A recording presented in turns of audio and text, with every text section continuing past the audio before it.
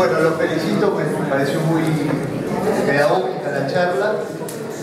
Y me quería circunscribir este, a dos expresiones de, del compañero Jaco y compañero Carfiero, eh, que vos después te rectificaste cuando este, hablas de que no era importante si había victoria de un lado o del otro, y yo creo que sí, que es muy importante porque son dos proyectos totalmente alternativos y distintos.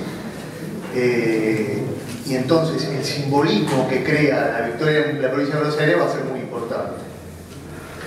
Eh, no sé ¿qué, vos qué opinás de esto, sobre todo porque cuando te hacen ver que, vos tenés más dinero que el otro, con declaraciones como el ministro de Economía, Duchovne, diciendo ¿qué, ¿qué, problema hay que haya gente que tenga dinero afuera?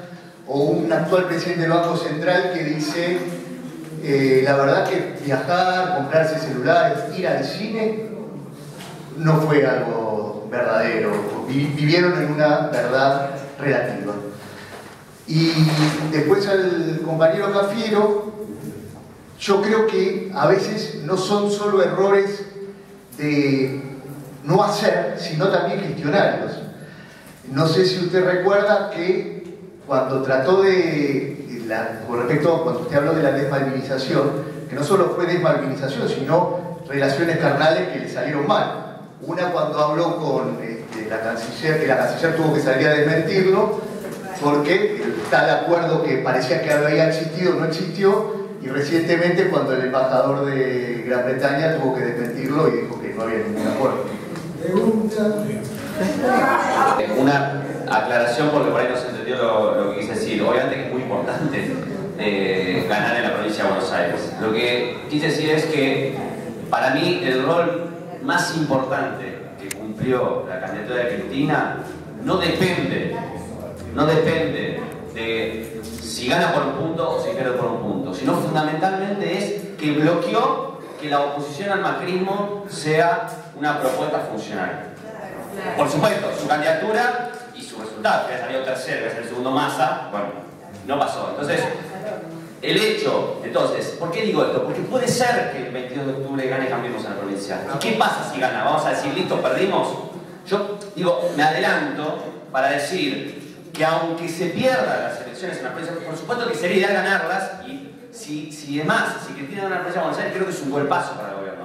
Un golpazo. Ahora, si el gobierno gana que es lo lógico cuando asume un gobierno nuevo que gane las primeras legislativas, creo que igual la situación es muy positiva porque lo que, el resultado principal de esta elección, aún perdiendo, es que la oposición al gobierno es esta y no una oposición funcional, que es la principal estrategia del gobierno. Eso es lo que dice Silvia.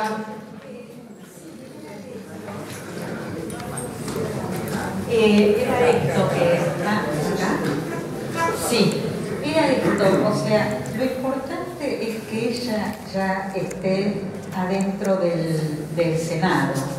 Porque si no, yo creo que influye mucho que ya vamos como perdedores y es muy probable que perdamos. Entonces eh, habría que hacer... No, bueno, es una de las posibilidades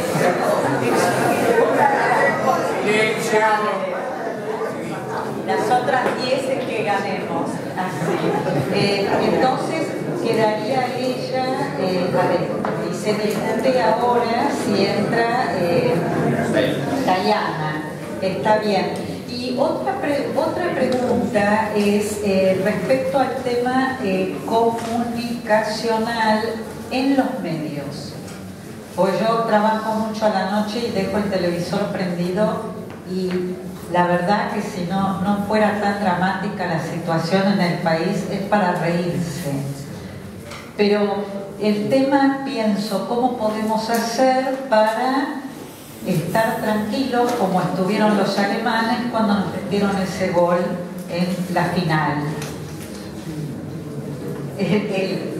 La pregunta no, no, porque lo hicieron porque estaban tranquilos.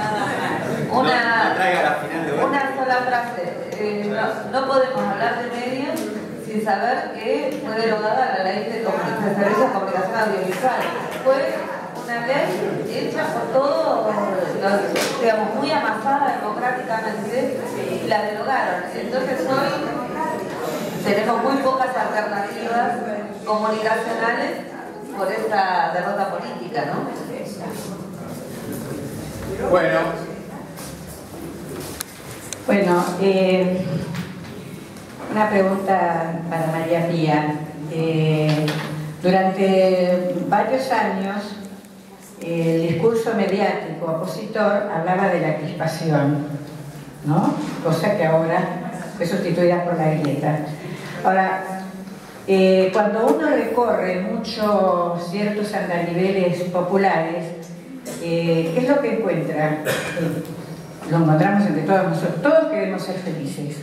Y la apelación a la felicidad de parte del macrismo es fundamental porque de alguna manera, subterráneamente, esa idea pugna, entra en divergencia total con la cuestión del conflicto, cuando Cristina reivindicó el conflicto como un motor del desarrollo y del crecimiento de una sociedad. Entonces yo quisiera saber cómo ve este, María Pía esa cuestión en relación a esto que estamos hablando de la construcción de una hegemonía y de una alternativa popular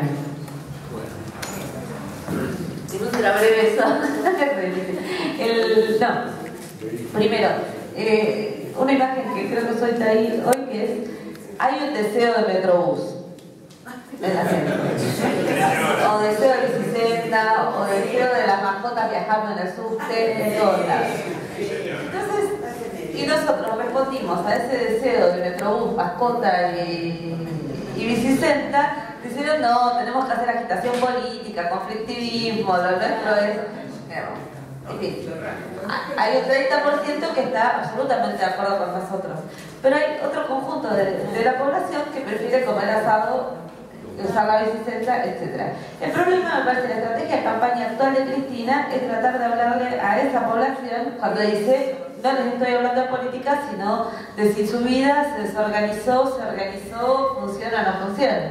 Es decir, está hablando de ese deseo material eh, cotidiano de la gente que no estaba en el primer plano en nuestra discursividad, la discursividad política del kirchnerismo en, en, los últimos años, ¿no? que me parece que era un discurso mucho más retórico-político.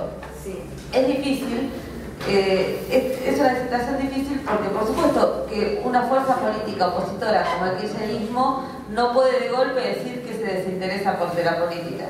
Y no estaríamos de acuerdo con eso. No estaríamos de acuerdo con un camino de presentarnos como buenos vecinos que quieren más bicisendas para todas y todos y nada más. Y no recordar la relación entre las bicisendas y la deuda externa o la financiarización de la economía.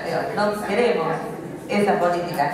El problema, por eso decía, es cómo volver a construir una interpelación que politice la sensibilidad de la vida cotidiana de un modo no reaccionario, no conservador y no, eh, digamos, donde no se base en las condiciones de la vida dañada para hacerlo, ¿no? de la vida dañada por el neoliberalismo. Pero me parece que gran parte de la invención se juega, se juega ahí, ¿no? Cómo eh, no sustituir eso con una retórica que aleja, ¿no? y, al mismo tiempo no considera las lógicas más conservadoras de tratar este problema.